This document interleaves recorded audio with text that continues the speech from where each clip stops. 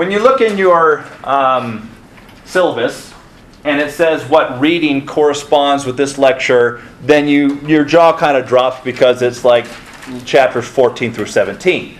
We're not going to cover every tiny little detail in those four chapters, but the species, which there are over 10 million species known on this planet, and many others that we probably still have no idea that exist in some of the deepest parts of our oceans or the deepest parts of the tropical rainforest. There are so many unclassified species uh, today that we just can't cover them all.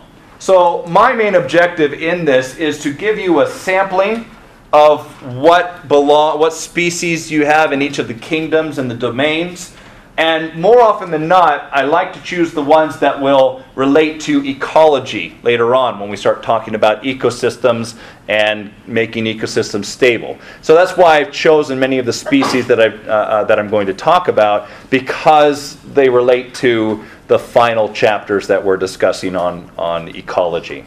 Okay? Now, the first and most important aspect of this lecture is what is a species? When we say, oh, this species is here, this species is there, when we say this is a different species, what do we mean by species? Well, it comes down to two main concepts that must hold true if we were to say that this species is different than this species. And it comes down ultimately to reproductive success. I, uh, if individuals belong to the same species, then they must first be able to breed with one another. They have to have the capacity to have sex, or if it's not sexual reproduction, at least combine their genetics um, into that zygote or whatnot. Now, this is mainly in sexually reproducing species because when you have asexual reproduction, then they pretty much just clone themselves. So when we talk about species, yes, we can define two organisms as different species if they don't mate with one another, but for things like bacteria and whatnot, that's not too big of a problem or an issue because they pretty much clone themselves. Now, um, so the species, individuals that belong to the same species, first must be able to mate, and second, must be able to produce fertile offspring, which means that their offspring can also continue to mate will show that in a lot of cases you have animals that are closely related enough that they can produce offspring, but the offspring is sterile, like a mule. You know, a horse and a donkey, which are separate species, but they produce a mule. Well, horses and donkeys are still separate species because mules are not fertile and cannot propagate their species from one generation to the next. So, these are what we call reproductive isolation barriers. That's what defines a species. Okay? So we're going to talk about, um, about eight different reproductive barriers. Five which are called prezygotic. Now remember, the zygote is when the sperm fertilizes the egg. That is mating, essentially, the fusion of the sperm and the egg. So prezygotic means that they don't have the ability to create the zygote. This is where mating comes into play. So prezygotic barriers are where they can't mate. Postzygotic is they mate, but there's problems with the offspring, that the offspring cannot continue to mate, and that also creates that barrier, that reproductive barrier that uh, separates two species from one another. So, here is the list of all eight that I'm going to want you to know. Now, before you get too worried about this, this is, you only have like one or even two questions on this out of your 10. So there's a lot to cover. I'm going to talk about each one of these isolation mechanisms, but you're only going to have really two questions of these eight. So don't think that this is the majority of this. Um, but like I said, it's randomized as far as which ones you get, so you do have to study all eight, but they're not that difficult to understand. All right, let's start with the prezygotic, or before their inability to mate with one another. Notice there's a lot more in the pre than there is in the post. Now, the first one's very simple. It's called ecological isolation, sometimes also called habitat isolation. And the reason for that is because organisms mate with other organisms that are in the same geographical area. You have to come in physical contact with another of your species to be able to mate.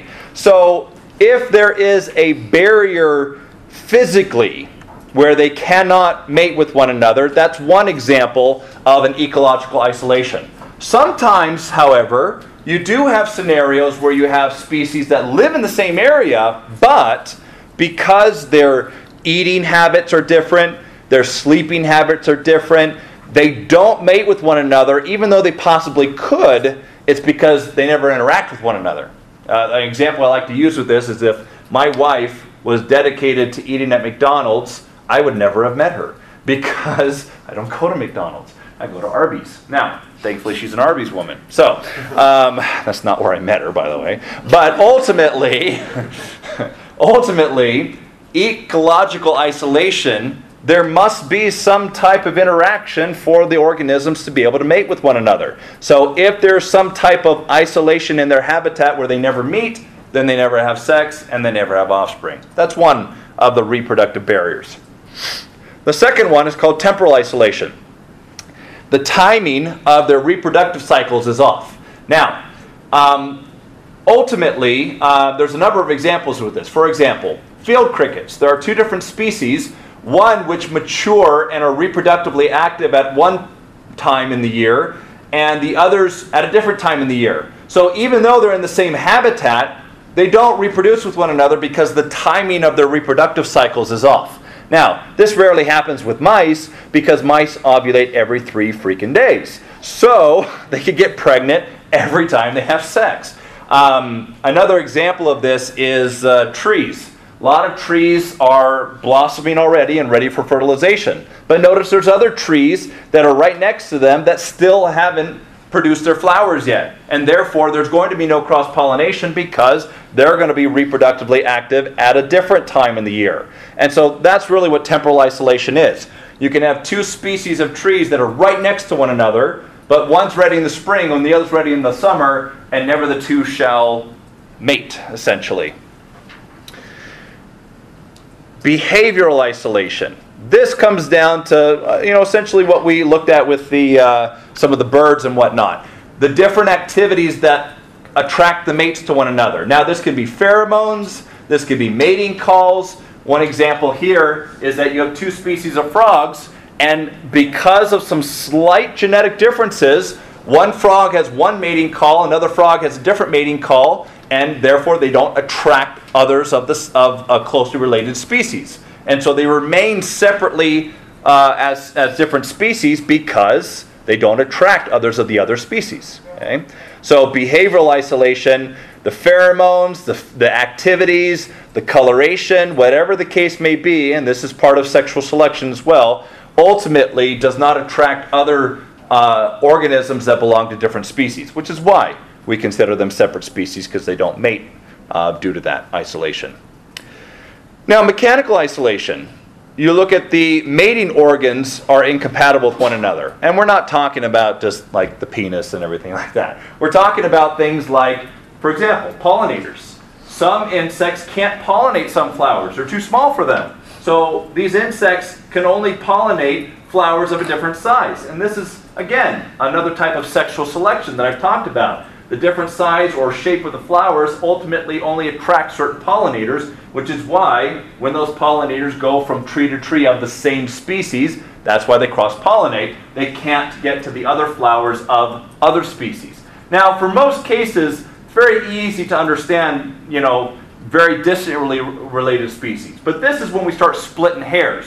Why is it that these two, which look identical to one another, aren't the same species and it's because they attract different pollinators. They, they, they will not cross pollinate between the two because of the different size of their flowers and whatnot.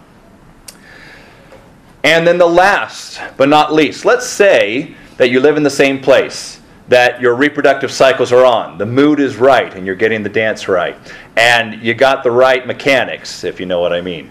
Ultimately, you get to this last barrier where you could possibly have the species mating or attempting to mate, but there's what we call gametic isolation.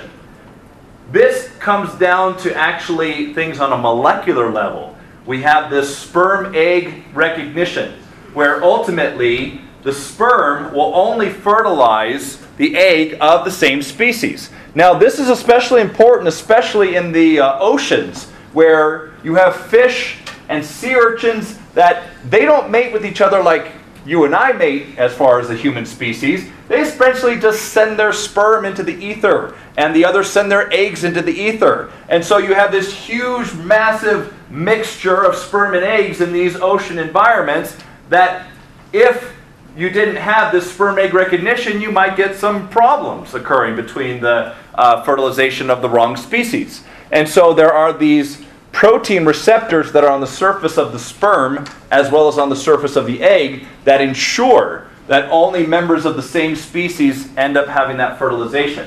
And again, this comes down to genetics. This comes down to individuals that have the same hereditary genetics that have been passed on. And this is ultimately where you start getting divergence of species where you have two different sea urchins that may live in the same area, but they never mate with one another because the sperm and the egg are incompatible. Hybrid viability. This ultimately occurs when the uh, hybrid, the zygote, will not fully mature.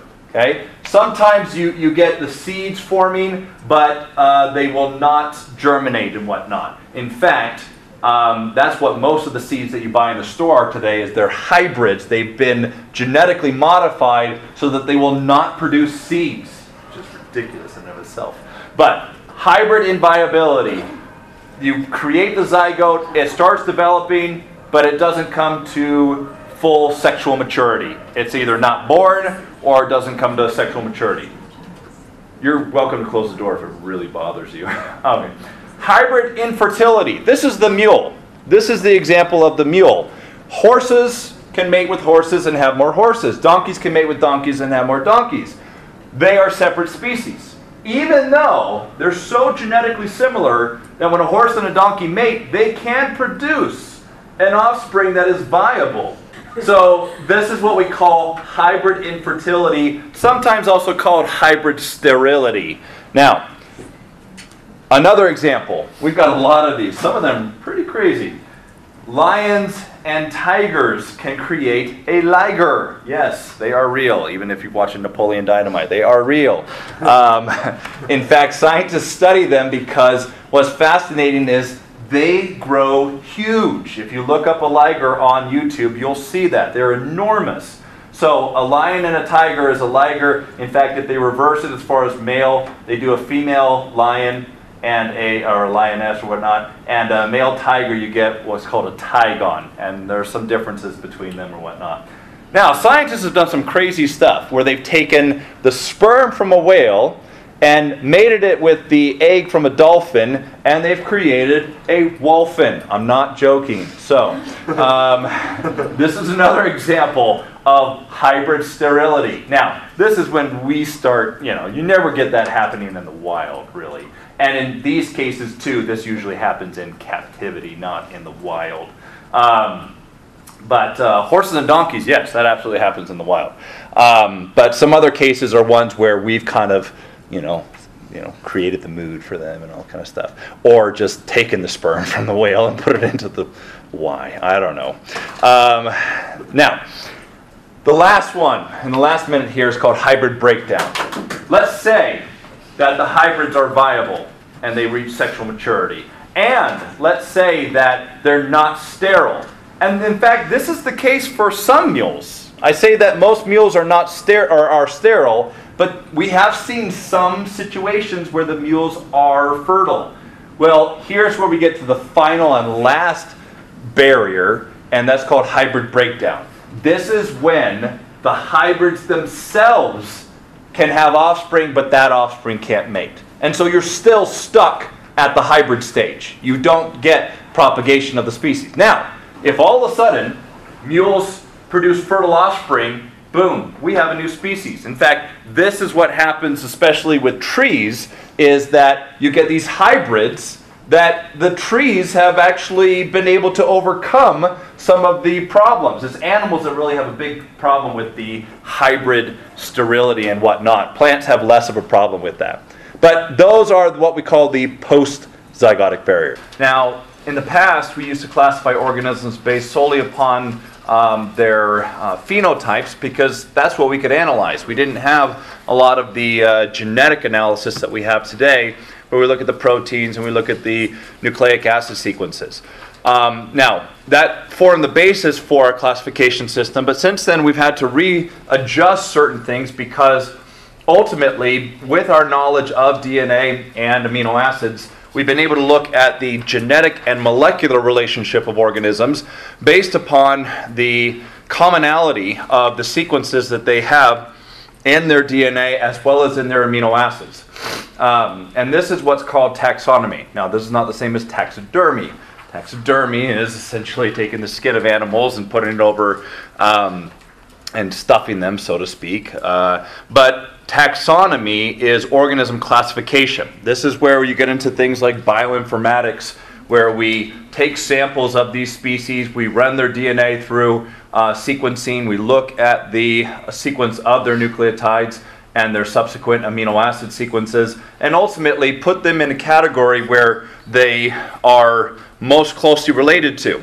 And this has allowed us to um, ultimately create a branching essentially tree of life uh, based upon the um, biochemistry, which is the amino acid sequences, and the genetics, which is the nucleic acid sequences, um, based upon those similarities.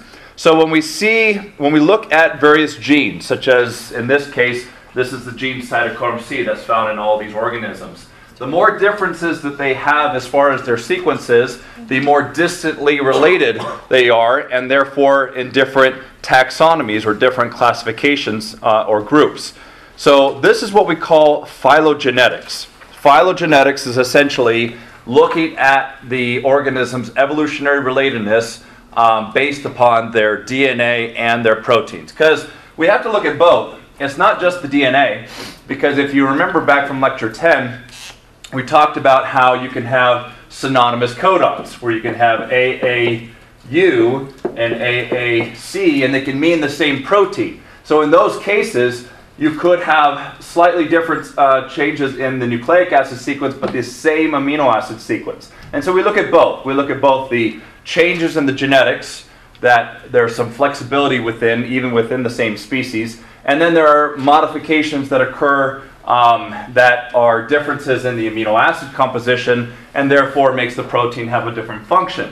And we'll look at some of the dynamics of what that does when you have these mutations in the amino acid sequence and, and ultimately how that creates, um, in some cases, huge divergence amongst species that belong to the same maybe phylum, but um, ultimately have some uh, major differences and therefore are part of different taxonomy groups. One example of this is um, a patterning gene called ultrabithorax. This is a gene that's necessary for the patterning of uh, body polarity and segments.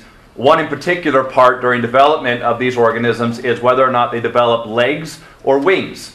And they found that in uh, species that ultimately develop wings, they have this additional sequence of alanines, which we call polyalanines, that in their gene makes it so that the, uh, the wings develop. Whereas in these other organisms, these don't have that uh, sequence and therefore develop legs instead of wings in those areas. So this is just what um, phylogenetics shows. These letters represent amino acids. And we haven't gone over these, and don't worry about knowing what W stands for, R, or anything like that. But here, this is just to show you the side-by-side comparison that for most of it, it's conserved. They're all the, pretty much the same amino acid sequence in these um, uh, alleles, but here we have that all of these have some arrangement of polyalanine, and that's ultimately what makes the difference between whether this gene causes wings to form or whether um, legs form in these segments of these insects. Now, how we classify organisms comes down to a twofold naming process. In fact, the hierarchy of classification we're going to go over here in just a second um, is similar to what we went over in the beginning of the semester, where we look at kind of this uh, uh, greatest to least or least to greatest, just kind of how we looked at the uh, organization of life from the smallest to the, the most complex. Well, as far as classification goes, you have domains or areas where, where they include pretty much all life. And then as you get more and more specific, they become more and more restricted to their particular classification. Now, we've all heard of humans being Homo sapiens. In fact, the two name um, classification comes down to what we call the genus and the species. Now, we've already talked about what the species is. Two organisms, if they belong to the same species, must what? They must be able to do what? Produce offspring. Produce offspring. How do you produce offspring? I know you guys know this. How do you produce offspring? yeah, mating. Okay, so they must be able to mate with one another, and the offspring must continue to be able to mate with each other. So that's what ultimately causes two individuals to be part of the same species. Now, in some cases, they may be so closely related that they're part of the same genus, but due to some reproductive barrier, they are different species. Okay? Um, and you've heard a lot of these names before. For example, E. coli. The E we just abbreviate because the actual name is called Escherichia. E is much easier to say. So E. coli, that strain of bacteria. We've got uh, Canis lupus. Those are wolves, um, and so on and so forth. So let's look at this hierarchy. Let's look at this classification, and this is what I'm going to test you on. This next one's fairly easy. It's not too hard of a uh, question on your uh, exam. But this is how we organize or classify all life based upon their evolutionary relatedness. Now, there are three domains in which we include all life the bacteria, the archaea, and the eukarya domain. We belong to the eukarya domain. Back in the day when I was learning this, we didn't have domains. We had five kingdoms. Uh, they were the plant, animal, fungi, protist kingdom, and then we had a kingdom called the Monera kingdom. Well, the Monera kingdom used to include both bacteria and archaea because they're prokaryotic cells. Well, due to modern phylogenetics, where we look at the evolutionary relatedness, what we once thought were very closely related are actually very distantly related um, based upon their genetic and amino acid composition. And so we've had to reclassify uh, the Monera kingdom and actually make it into two separate domains, which are the bacteria and the archaea domain. And we're going to talk about bacteria and archaea today. Um, at first glance, they look pretty much the same because they're both prokaryotic cells, and there's not much differences when you look under a microscope. However, when you really delve down into the genetics, you realize that they are not related or as closely related as we once thought. All right. Now, kingdoms. In the eukarya domain, we have four kingdoms, and that's where we're going to spend the rest of our time in this lecture on. So, the first part, we're going to look at the bacteria and archaea domain and some examples from those uh, species, from those uh, domains, uh, specifically species that are going to come up again and again when we study ecology over the next few weeks. Um, and in the eukarya domain, we've got four kingdoms plant, animal, fungi, protists. So, those kingdoms still remain, those are fairly well classified. Now, as you delve into each kingdom, you have various phylum. For example, in the animal kingdom alone, you have nine phylum. We belong to what's called the Chordata phylum. But there's other phylum. There's Arthropoda, which is where the insects and other uh, crustaceans are uh, belonging. In fact, that's the, one of the largest phylums in the animal kingdom. When you break up each phylum, then you have several classes, and so on and so forth until you finally get to that last and final division, which is through reproduction, mating and, and offspring, like we talked about last time, where you only have one of every species. So this is why we have 10,000, I'm not 10,000, 10 million species that we know of on this planet, and possibly many, many more that we don't, haven't even investigated yet because of where they live. This is why species is what we call the least inclusive, because there's only one type of any species. Uh, I'm not saying one animal or, or one organism, but one type of every species. Let's look at the aloe vera plant. Again, that's why it's called aloe vera. It belongs to the aloe genus, but the species is the vera. So it's aloe vera. Um, that's the one most commonly used when we get the extract and other types of things. Well, let's look at its hierarchy. It belongs to the eukarya domain, just like you and I. Uh, but it belongs to a different kingdom, the plant kingdom, ultimately. Then as you start looking at the phylum, you get the Anthophyta, and then so on and so forth. I'm not a plant biologist, so I'm not even going to try to name those. But at the end, you notice that there are over 500 different species within the genus. And ultimately, this comes down to where they grow in the world.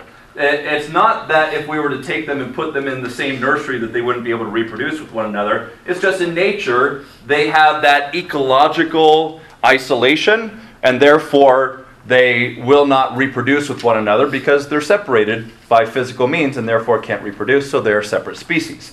But they might all be very, very, very genetically uh, similar to one another because they have the same pretty much genetics and, and whatnot.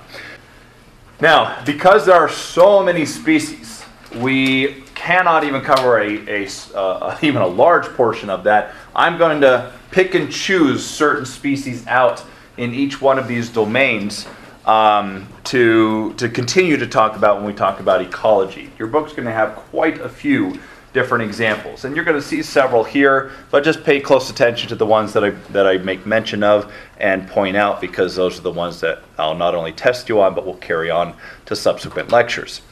Um, so, one of the things about bacteria and archaea that first confused us is they're both prokaryotic cells. Okay? So, we once thought, hey, they're both prokaryotic cells, they're very closely related because they pretty much are the same type of cell, their genetics are the same, they pretty much behave mostly the same. Well, the more we investigated, the more we realized that's not always the case. They have some substantial differences in their genetics as well as in their proteins in which they uh, um, do. As well as when we look at eco- ecosystems, they play very distinct roles. Sometimes those roles overlap, but in other times they have very unique roles. And so when we look at those, um, we have these two separate domains because uh, they're not as closely related as we once thought they were. Another issue that we sometimes deal with is you get what we call lateral gene transfer between many of these species. Remember, I told you how bacteria can ultimately share antibiotic resistance? Well, that's what this lateral gene transfer ultimately is. So, unlike sexually reproducing species where we pretty much only inherit the genetics that get passed on to us. Um, th- this would be the equivalent of being next to some other human and them uh, giving you Huntington's disease just by transferring their genes over to you. I mean, that's not going to happen in you. But in simple cells like prokaryotic cells, this happens quite a bit. In fact, they have these little um, regions called sex pili in which they can connect with one another and ultimately copy genetics and give each other genetics. So that makes it a little more difficult to look at some of the classifications because we get this crossing um, uh, of genetics uh, laterally or horizontally instead of uh, through descent with modification. Now, Let's look at some of the similarities and then look at some of the substantial differences. Since they're all prokaryotic cells, then they pretty much have some of the same uh, features, meaning they're, they're lacking most of the organelles that prokaryotic cells lack. They don't have a nucleus, so they don't have a nuclear envelope like you and I do, or that any eukaryote has, which is one of the main things that classifies them. They're particularly small, about a tenth the size of eukaryotic cells. Um, they pretty much are unicellular for the most part.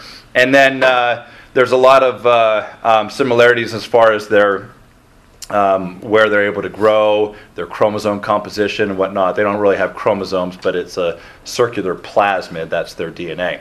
Now let's look at some substantial differences. One of the things that we notice right off the bat is though bacteria and archaea have a cell wall, they're not made of the same thing. Bacteria, they make their cell wall out of a protein carbohydrate composition called peptidoglycan.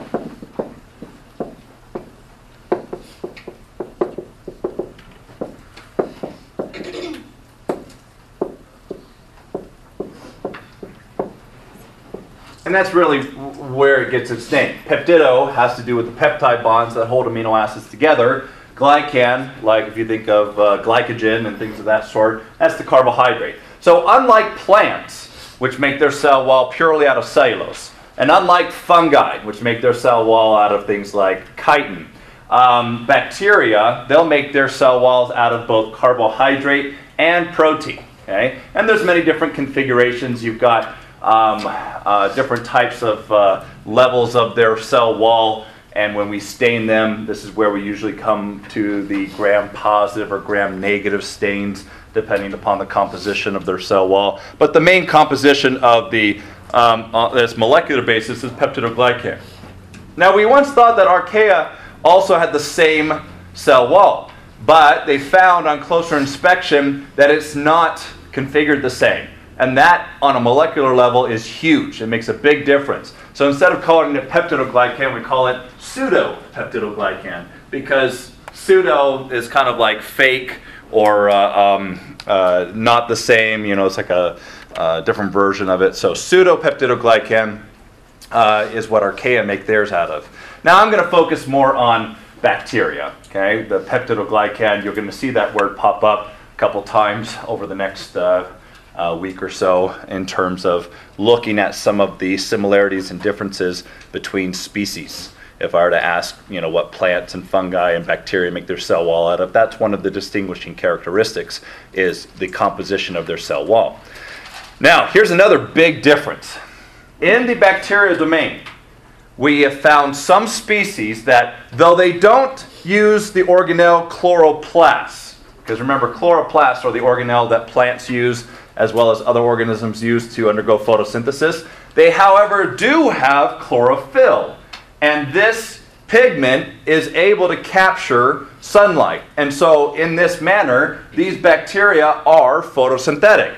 To date, we have not found any archaea, or what we classify as archaea, having the ability to undergo photosynthesis. They don't have chlorophyll. Now, this is huge because this illustrates a big uh, uh, uh, division in uh, um, a lot of these species. So, I might ask you um, uh, regarding some of the main differences between bacteria and archaea, and it might come down to this right here. Bacteria have some organisms or some species in this domain that have the ability to undergo photosynthesis, whereas to date, we do not have any archaea that have the ability to capture sunlight and turn them into sugars. All right. Now, let's look at some of the diversity within the bacteria domain as well as the archaea domain. Within the bacteria domain, we have at least 23 phyla. They're very diverse. There's some that are photosynthetic. Nitrogen cycling. This is another aspect that's key for ecosystems. These bacteria are able to undergo anaerobic respiration. Remember that anaerobic respiration, as we learned, is the exact same process as aerobic respiration. The difference is they use nitrogen instead of oxygen. Well, how does this play a key role ecologically? Ultimately, the decomposition in the soil and the putting of nitrogen, uh, such as uh, nitrates like ammonia and uh, and nitrate or whatnot. These are necessary chemicals for plants to be able to synthesize their nucleic acids and their amino acids and such.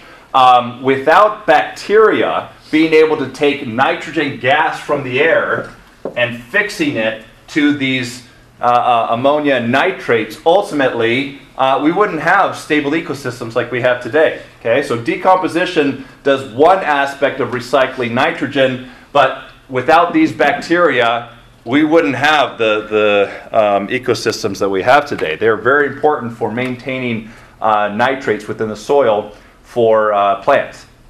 Now, um, we've already talked about some of the medical importance of bacteria, especially when you get into transgenic organisms. You know how we synthesize insulin by ultimately putting the human insulin gene into bacteria. We're able to synthesize pretty much anything if we know the genetics behind it um, in bacteria. So they play a key role medicinally.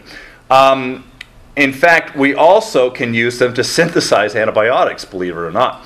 Um, so, the bacteria, as you notice, doesn't have a nuclear envelope. It has this large nucleoid or chromosomal DNA, which is, if you were to unravel it, it's just be one large circle. Their cell wall is made of peptidoglycan, as we talked about and uh, they can actually take up DNA from the environment, which is one of the things that makes them very difficult to deal with, especially when they are able to crosstalk with other bacteria and share that with them. Um, they are also important for our food. Um, they, we use them in the production of many of the things that we enjoy today vinegars, pickles, olives, yogurt, cheese. We use them to make industrial chemicals like ethanol and acetone and even vitamins. Um, transgenic bacteria, we talked about that with insulin and other types of human growth hormones. Um, we use them for bio waste treatment. This is huge to be able to uh, basically break down the sewage that you and I excrete, as well as many others, and ultimately. Uh, uh, a lot of these uh, sewage plants pretty much run on their own energy produced by the breakdown products of the uh, waste treatment. And so it's a wonderful way of recycling that is, uh, makes our way of life manageable. So, many, many, many benefits of bacteria. Most of the time, when we think of bacteria, we think of certain things like cholera. You know, that's the bacteria we, we hate. We think of salmonella. We think of chlamydia. We think of strep. We think of tetanus. We think of anthrax. These are a lot of the bacteria that we think of because they cause the diseases that plague us so much. But in reality, without bacteria, we wouldn't have stable ecosystems. We wouldn't have the medicines that we have today. Bacteria play a key role um, and, uh, and whatnot. So, uh, bacteria kind of get a bad rap. Every time we think of bacteria, we always think of infection and diseases and things of that sort. But I want to make you aware again that without them, very, uh, uh, we wouldn't have what we have today. Here's an example showing you how in the nodules of these plant roots, the bacteria live, and they're able to convert nitrogen gas into ammonia and nitrates that are necessary for the plant to be able to have um, the uh, necessary uh, building blocks for its uh, um, cells. Now, let's talk a little bit about some of the problems with bacteria. Um, because this is where food poisoning, this is where weaponized anthrax, this is where a lot of these things come into play. Bacteria are very resilient. They have the ability to, in very harsh environments, kind of package up all the essentials of life and put them into this spore that is able to withstand extreme temperatures, radiation, um, any types of things that we try to get rid of them, they'll pretty much just sit there and, and be protected and be like, oh, I don't care what you throw at me. Um, this is where a lot of food poisoning comes into play. Because when we can our food, we, we're usually canning a lot of this uh, bacteria in with it as well. Well, when you open up the, the can and if you let it, um, once it gets into a favorable environment, it can actually start spreading and, and releasing its uh, toxic metabolites, and this is where botulism comes from. In fact, Botox is botulism toxin. So, next time you think about Botox, um, this is a toxin that causes an inflammatory response in your body. Now, if it gets into your bloodstream, it can kill you. Um, now, anthrax is another one that we uh, have are a little scared of because that's really what weaponized anthrax is. Is scientists or individuals, terrorists, will take this bacteria force it to go into this spore state, and then you can put it into an envelope or some other thing, as we've seen in the past. Um, because once they get introduced back into a biological organism, they're able to literally revert back to their normal form, grow very rapidly, release their toxin, and can very quickly kill somebody. All right. And this was just the example that I showed you that bacteria have the ability to uh, share genetic information. Sometimes it is transmitted virally, sometimes it's between the actual bacteria themselves, between these sex pili. Don't worry about these words transduction, conjugation, transformation, don't worry about that. But ultimately, bacteria have the ability to pick up DNA from a multiple host of sources, and this is where they are able to uh, increase their ability to survive because they're picking up antibiotic resistance from other bacteria. In fact, this is a problem today when we deal with uh, studying bacteria. Some bacteria we can't study in the same lab because if they were to ever talk with one another, they would share all of their resistance, and, and you'd have something even worse than MRSA um, in terms of its resistance to most of our antibiotics. All right. Now, archaea are much simpler in terms of um, understanding the, the, the, main types of uh, organisms that belong to this domain. Um, there are archaea that do live in normal environments, and there are bacteria that do live in extreme environments. But on the whole, generally speaking, we say that bacteria are the ones that we typically uh, come in contact with in the regular environment, and archaea are the prokaryotic cells that typically live in extreme environments. Hence, we call them extremophiles. So, extremophiles live in areas that not many organisms can. And there are three main types of extremophiles that I'm going to test you on or that I want you to know. And these play various ecological roles uh, in various parts of the world. Uh, normally, you'll get other organisms playing these same roles in the more temperate areas. So, methanogens. These are methane producing archaea that convert carbon dioxide into methane gas through anaerobic respiration. You'll find these in areas where you have high concentrations of carbon dioxide and therefore high concentrations of methane, such as in swampy areas and the like. Halophiles. These live in extremely salty areas, like the Great Salt Lake and the Dead Sea and some other areas where the salt concentrations are so high, you're not going to find fish, you're not going to find many organisms, but you do have these microorganisms living in, this, uh, in these areas because they're able to withstand the extreme salt concentrations that are found in those particular areas. And then thermoacidophiles. The name tells you where they live. Thermo has to do with heat or temperature, acid has to do with pH. So these live in very hot, acidic environments, such as these hot springs and, and thermal vents in Yosemite and whatnot. Um, they live in these areas and uh, have various roles in decomposition and whatnot. But notice, you know, not many things are going to be able to live in those um, uh, hydrothermal vents that come up and create a very acidic environment and very hot.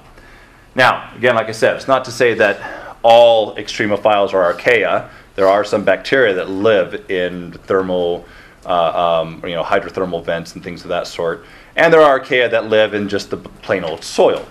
However, for our purposes, we'll just kind of keep them nice and separate for, uh, for testing. So, it's all about the eukarya domain, which is one of the most diverse group of organisms. And though, pretty much the, the thing that classifies the eukaryote domain is every organism that belongs to the eukaryote domain is made of eukaryotic cells.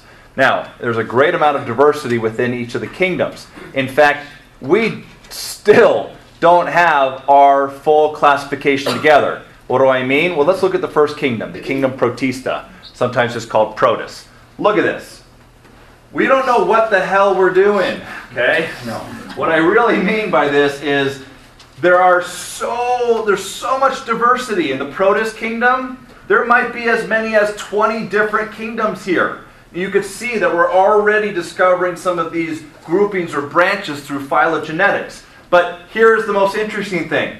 If it's not a fungi, animal, or plant, we throw it into the Protus kingdom. And I'm not kidding. So this is where we put things that are not very well defined as a fungi, as an animal, or as a plant. Okay? So look at this branching. I mean, it's just enormous because you've got some protists that are very, very similar to plants. In fact, we once thought of them as plants, and we now realize they're not. There are other protists that we once thought were fungi, but then we're like, oh, no, the genetics are too different and whatnot. And they're not fungi. So let's start with the protist kingdom extremely diverse. Now, even with all of this diversity, there are a couple of organisms that are key for any ecosystem, which is why I'm going to cover them. Um, and those are specifically the photosynthetic protists. Now, here's the fascinating thing most photosynthetic activity on our planet is not done by plants, it's done by protists. Think about it. Our planet's mostly covered in water, two thirds covered in water. These are aquatic photosynthesizers. The main group of photosynthetic protists are algae. Algae play a key role in any aquatic ecosystem to undergo photosynthesis to bring energy into those uh, aquatic environments. Another thing that's uh, key for the survival of any ecosystem is typically the symbiotic relationship that algae play with other organisms like fungi, um, where they uh, form what's called a lichen.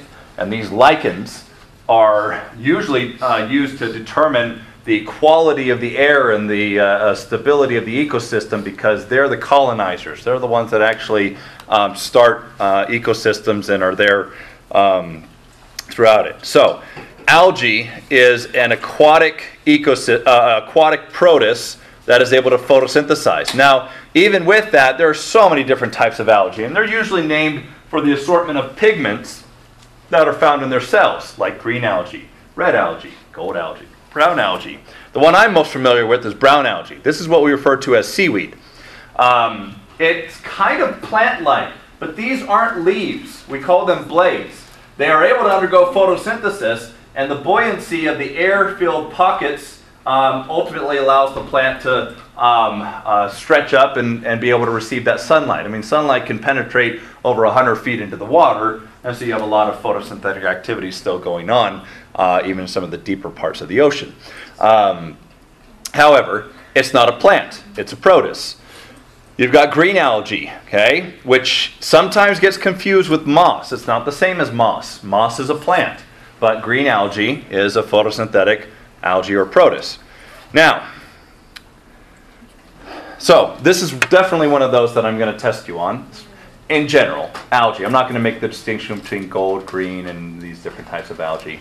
Now, if you look back on this right here, again, that's where you can see this uh, this group of uh, golden algae, and you've got red algae over here, uh, and so on and so forth. I mean, there's all sorts all over the place. Now, let's look at another one. If you've ever heard of red tides, these are caused by a protist called dinoflagellates. These protists are the major component of what we call plankton.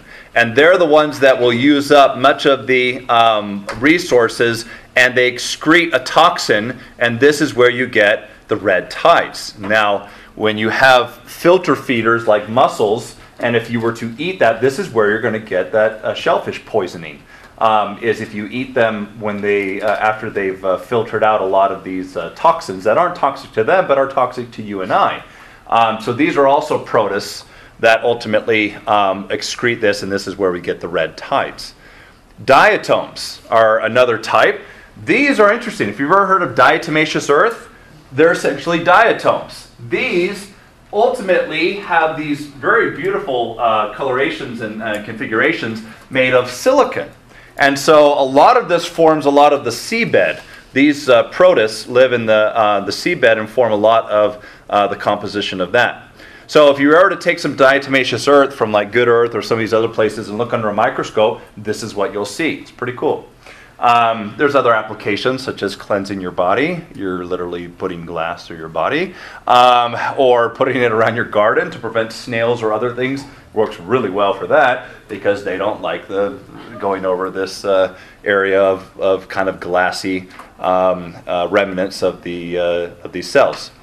This was once classified as a fungi, but due to phylogenetics, we realize, hey, they're not for a number of reasons. Not only are their genetics very uh, different from fungi, but they don't even make a cell wall like fungi do. They don't make a cell wall out of chitin, um, unlike fungi. And that's one of the major things that fungi do is that in order to reside within the ground and, and be in the environments that they do, they have to have a very tough, rigid cell wall made of chitin that surrounds them. And these are what we call slime molds. Now, these, unlike fungi, actually live on the surface. Um, fungi actually live in the ground, even though you do see the results of sex, which we'll show, uh, which are the uh, fruiting bodies or the mushrooms. Um, slime molds actually go along the surface and they eat bacteria and, and recycle nutrients or whatnot. All right, so let, I'm going to skip ahead to fungi here since we're already on that. I usually talk about fungi before plants anyway, but fungi are vital for the stability of any ecosystem. Why? Because their main job is decomposition. Okay? In any ecosystem, they are the major recyclers. They live in the dirt, in the roots uh, of trees, they live in these areas, and they're going to recycle essential nutrients back into the soil. Now, that's really where we initially discovered antibiotics, is because fungi eat bacteria. Well, ultimately, they secrete these chemicals outside of their cells, which break down the, the bacteria. And that's where penicillin was first discovered was one of these types of secretions that ultimately blocked the bacteria from making their cell wall. Um, and from there, we've been able to derive other uh, types of chemicals that are used as an antibiotic, but that's how we first discovered antibiotics. Now, don't go taking a fungi and boiling it down and making your own antibiotics. You're going to kill yourself. Um, but we've been able to synthesize many antibiotics from these excretions. Now, what's interesting about fungi is in terms of their genetics, they're more closely related to you and I than to um, uh, plants. Um, in fact, we use fungi many times to study our own genetics because some of their molecular mechanisms are very similar to you and I. Um, now, let's look at the fungus. Most people have never actually seen the fungal filaments. What you've seen is the mushroom. But in reality, the mushroom is essentially like looking at the fungi's uh, sexual anatomy because that's the result of sex. So, the fruiting body, ultimately, the mushroom is where the spores get produced, which are the result of meiosis. So, when two fungi uh, get together, and the mood is right, and they fuse their nuclei, they essentially create the fruiting body, which becomes the mushroom. And this is its reproductive process. From the mushroom, it will create these haploid spores. Now, that's another thing about fungi that's interesting. These filaments, because this is what the fungi actually is, these filaments are all haploid. You remember what haploid means? It means they only have one of every chromosome. Now, this is the opposite of you and I. Our cells are diploid. We have two of every type of chromosome. Well, each fungi is haploid, and when you get two of the mating types together, we call them plus and minus. There's no male and female in fungi world. Um, maybe they consider themselves that, but we don't.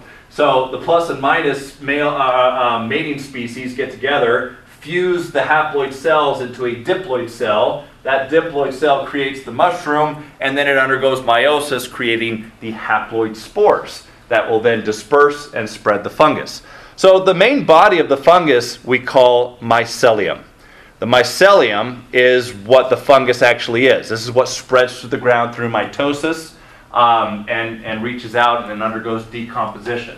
Um, the filaments of the mycelium we call hyphae. These are just the long filaments of cells of fungi that are connected together and form uh, almost looks like roots, okay? But these are the fungus. This is the actual fungus itself. Okay? This just illustrates that what I was just talking about. The haploid spores fuse, creating a diploid cell. They germinate, you get mitosis creating the uh, um, uh, mushroom. However, the spore sac that undergoes meiosis and creates haploid spores, and that was, is what gets dispersed um, throughout uh, uh to be able to spread the, uh, the cells. So fungi actually reproduce through two mechanisms: asexual, they clone themselves, and sexual, they fuse their nuclei, just like a sperm and an egg come together, and create a diploid cell that then can undergo meiosis and create these haploid uh, um, cells. Now, another key thing about fungi is they form symbiotic relationships with other organisms. I mentioned the lichen. This is an example. The lichen is actually two different kingdoms coming together. It's either fungus and algae or fungus and bacteria, usually a cyanobacteria because that's where the symbiosis comes into play. The role of the algae or the bacteria is to undergo photosynthesis. And this is where you're going to get a lot of these colorations because of the pigments in the, uh, in the chlorophyll uh, and other pigments that are necessary for photosynthesis. Well, what do the fungi do? Well, they protect the algae from its vegetarian predators, essentially. So the lichen is very tough and resilient, and the organisms that would normally eat the algae can't. And so, in this symbiotic relationship, the, the algae or the bacteria give the fungi nutrients, and the, nutri- and the fungi in turn protect the algae. And this is one of many cases of symbiosis that we're going to talk about. Again, like we said, they, they use lichens to monitor air quality because uh, this is um, because of their, the nature of their ecological importance. So let's look at some of the general characteristics of fungi. The main body of the fungi is mycelium. The cells are haploid. Okay, so the adult cells of a fungi are haploid, not diploid. They only become diploid when they fuse together uh, in preparation for sexual reproduction. They make their cell wall out of chitin. Okay? And this is the same material that is used for the exoskeleton of crabs and insects and, and lobsters and such. It's very tough. That's why mold is very difficult to get rid of chemically because these can withstand very extreme environments. Um, and they can re- reproduce asexually, which is mitosis, and sexually when they fuse their haploid cells together, create the mushroom, and then those cells can undergo meiosis, create the haploid cells again, and then spread through the air. Their main job is decomposition and colonization. The colonizers, this is when they form that symbiotic relationship with the uh, algae and the bacteria. Uh, and that's what starts the, the formation of the soil and things of that sort. Now, we know about fungi for food. We have mushrooms a lot in our food. Um, we use medicines uh, like the antibiotics that we've discovered from fungi. Uh, most of the time, when we think of fungi, we think of disease. And a lot of times, we don't particularly like that aspect of them. However, even disease plays a key role in the stability of ecosystems. Okay, two more kingdoms to discuss, and then this will be finished up, and we'll, then we'll do a um, review. Since this is one of the more uh, broad topics, it's important you understand how many questions you're going to have on each uh, um, kingdom and domain and what how they're going to be phrased and some of the other things so you can prepare for it. Because uh, there's just so much to read about in your book as well as to go over. So, plants the plant kingdom is very well defined. In fact, all plants are multicellular. We do not have any plants that are uh, single celled organisms. So they're all multicellular, there are no single celled.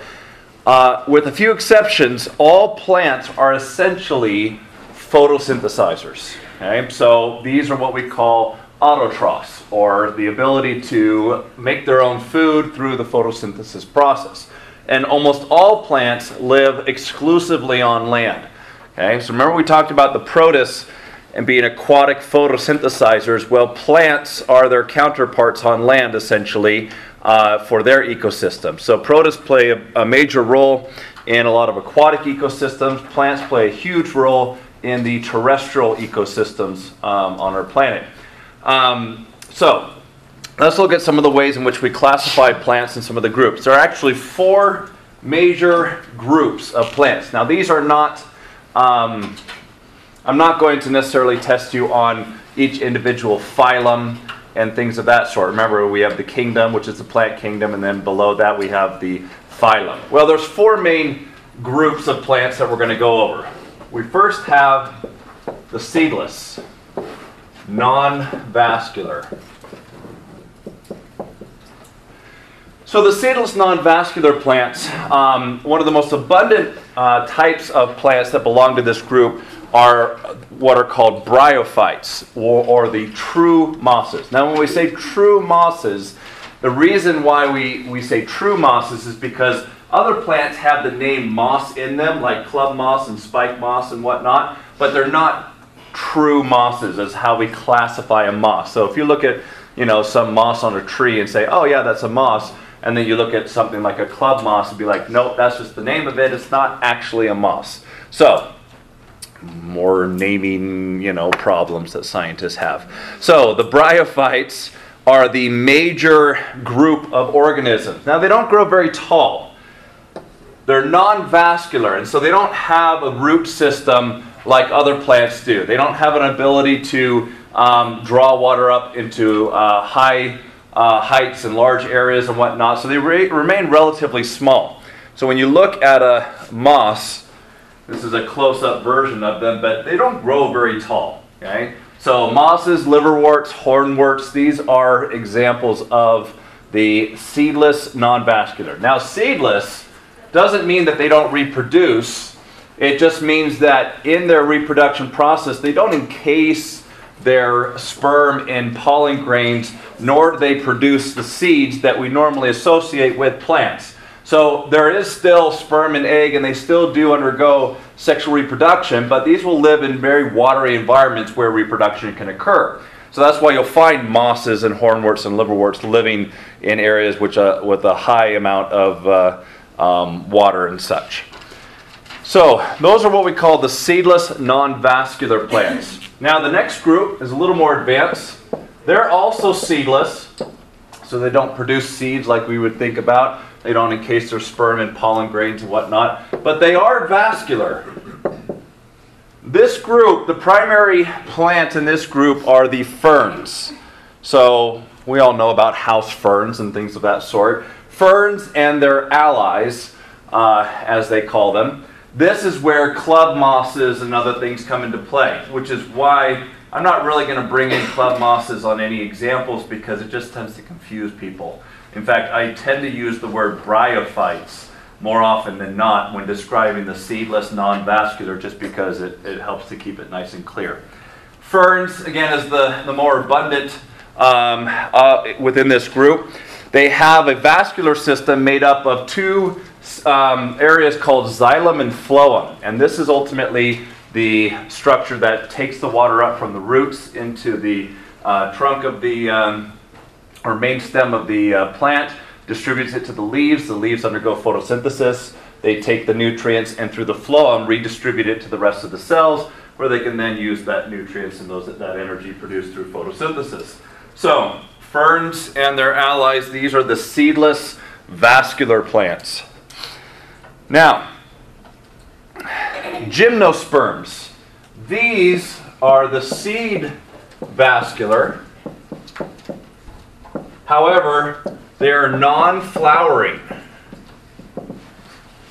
So, they do encase their sperm in pollen grains. They do produce seeds like pine trees. You can, if you look at the pine cones, you can actually see the seeds in them but they're non-flowering. They don't produce flowers, and so therefore they don't attract pollinators. They're also, if they're non-flowering, um, uh, you don't have any fruit production in that regard. Now they're vascular, just like the other plants, where they have the ability to redistribute fluids through their xylem and phloem. However, um, uh, they're not the most abundant. You'll find these in the mountain areas. This is pine trees, conifers uh, ginkgo uh, plants, uh, and, the, and the like. Now, when you look at these phylogenics uh, here, and you can see that you know there's a large distribution of plants, it's somewhat misleading as far as the amount or number of species in these groups. Because in fact, these three groups of plants are the least abundant plants on our planet, or, or series of plants on our planet. The most abundant plants are the seed vascular flowering. Now, why do you think they're the most abundant? And why would that make them uh, have the ability to reproduce more effectively? Good. So, pollinators, insects, uh, some flowering plants are fruit producing. That also attracts animals for seed distribution and things of that sort. These are what we call angiosperms. Even grass is an angiosperm. These are the most abundant plants on the planet. If you were to let grass grow long enough and not cut it, it would produce flowers. So, angiosperms are flowering plants. There are over 250,000 species of angiosperms. So, if you look at the overall species count, mosses, only about 24,000. Ferns, about 12,000. Pines, only 800 and some odd thousand. Angiosperms, 260,000 different species. So um, these are the more abundant because, in terms of uh, evolutionary advantage, they have the greatest advantage for reproductive success. They're able to redistribute their seeds and be able to spread out to a wide variety of areas, have the greater uh, attraction to insects and other pollinators. Now, um, these are the four main groups that I'm going to test you on. And each one, again, just has one slight difference from the other. These are the, the bryophytes are the seedless non-vascular. The ferns are the seedless vascular. The pine trees or the gymnosperms are the seed vascular non-flowering. And the angiosperms are the seed vascular flowering plant. All right, let's look at the animal kingdom. Most of the time, when people think animals, they think of vertebrates, which is what you and I are. However, the more abundant species of animals are actually what we classify as invertebrates, which they are ultimately do not house their brain nervous system in a vertebral column. So the general guidelines for the animal kingdom are very well defined. All animals are chemoheterotrophic, which means there are no photosynthesizers. Now, there's always exceptions. There's like there's some sea slug that eats plants and absorbs their chloroplasts and, and can do some photosynthesis. There's some strange things out there. But on the whole, all animals are non photosynthetic. They're chemoheterotrophs, which means they have to eat other organisms to get energy. We cannot make it for ourselves. With a few exceptions, all animals are sexually reproducing. That is our mode of reproduction. But that's also what gives us our select advantage in terms of evolution because of our diversity and our variation that gets maintained from one generation to the next. Now, another thing that makes animals have such an evolutionary advantage uh, over other species is their ability to change places or move in their environment. And this comes down to two types of tissues that you don't find in any other kingdom, and that's muscle and nervous tissue. The nervous tissue allows for higher functioning and reactions to conditions in the environment. The muscle tissue gives us mobility. Now, that's not to say that other organisms don't have any mobility. In fact, bacteria have uh, flagellum that allow them to move within their environment, but that's not muscle tissue or whatnot, and they're very primitive. They have no nervous tissue. So, animals by far have the greatest advantage for evolutionary survival because of their ability to respond to uh, uh, their environment in, in ways that others just cannot. Okay? Now, there are over a million species of animals, the great majority of which belong to this phylum right here called the Arthropoda phylum, which is where we have insects, crustaceans, crabs, spiders, uh, you name it. There, there's just so much diversity and whatnot in this uh, phylum right here. Now, I am going to go through each of the phylums so you can get a good appreciation as far as what makes up the animal kingdom. Because as I mentioned, most of the time when people think animals, they think vertebrates. What am I talking about? Well, of the nine phylum that are in the animal kingdom, only one has vertebrates in it. It's called the Chordata phylum. This is where we belong fishes, amphibians, reptiles, birds, mammals. These are the minority. There are fewer of these species than when you look at the other uh, combined, especially, like we said, the arthropoda. Now, the Chordata phylum has both vertebrates and invertebrates animals with backbones and animals without backbones. Now, as I go through these, there's a couple videos I'm going to show you to give you some examples. These are the same examples that you'll typically see show up on the quiz questions, which is why uh, I like to have that connection. But we're going to go through some, not all of them have videos, but some of them do. Um, there's no way in hell I'm going to show the SpongeBob SquarePants movie uh, for the Porifera for the sponge. But that's the first phylum here, Porifera, or the sea sponge. Um, these are some of the more primitive animals. They are classified as animals, but they're very simple in terms of their overall physiology. Cnidarians. Cnidarians are things like jellyfish and the hydra and uh, the sea anemone or the uh, coral reefs and things of that sort. These are there's a wide variety um, of uh, various cnidarians. Platyhelminthes are flatworms. These can live in aquatic environments essentially. Um, they're usually not parasitic, although there are some that can be.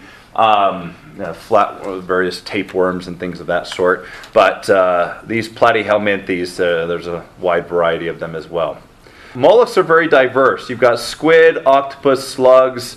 You've got the uh, filter feeders like the uh, uh, mussels and whatnot. Um, you've even got some interesting uh, um, ones that look very much like their ancestors, um, like the nautilus. Uh, annelids are essentially uh, worms. Now, these are not like the platyhelminthes, where the platyhelminthes are flatworms. These are more roundworms. This is where you have earthworms uh, and the like. This is also where you have things like tube worms. In fact, this is what James Cameron stole for the movie Avatar. Um, for, the, uh, for his fictional world. These tube worms um, reside in the sea and can actually um, uh, hide down into the tubes when danger comes about, which is essentially uh, how that was. Uh, nematodes are also another type of uh, worm. Um, arthropods. This is the most diverse group. Um, one of the main things that classifies arthropods, even though they're very diverse, is they all pretty much have some type of exoskeleton made of chitin.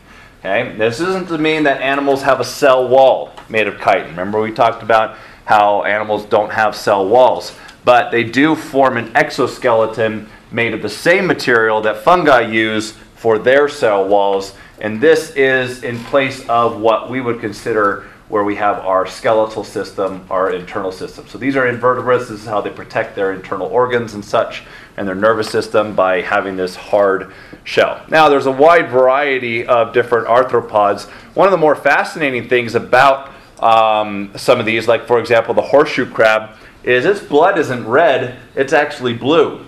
And the reason why it's blue is because it uses copper in it instead of iron. And so scientists every year when the, the horseshoe crabs come on uh, land to spawn, they uh, will bleed out a lot of these horseshoe crabs because the blood has some type of thing we haven't quite identified yet that is used as a coagulant to show whether or not there are uh, there's a bacterial infection in some of these pharmaceuticals. And so pharmaceuticals pay top dollar for the horseshoe crab blood to essentially test their batches of drugs to ensure it's one of the quickest ways to see whether there's some contamination in those batches or not. Um, we have not yet been able to synthesize uh, what's in the horseshoe crab's blood. Now, we don't kill them, but they do bleed them out as they come on land to spawn and then they let them go. And I think about 10% of them die. They, they, they're getting better at it uh, all the time. But uh, there's just a wide variety of things that uh, uh, we can learn and, uh, and know from these arthropods. Echinoderms. These are things like sand dollars, sea urchins, starfish. All right, and then we reach our phylum, the Chordata phylum. This is the phylum that not only has all vertebrates in it, but a few invertebrates as well. Most of the invertebrates are not as well known, such as the uh, uh, sea squirt and the lancets. These live in various regions that we don't necessarily uh, encounter them unless we uh, go looking for them. However, this is where we have the fish, the amphibians, the reptiles, the birds, and the mammals. Platypus is messed up. Um, well, it's the only mammal that lays eggs.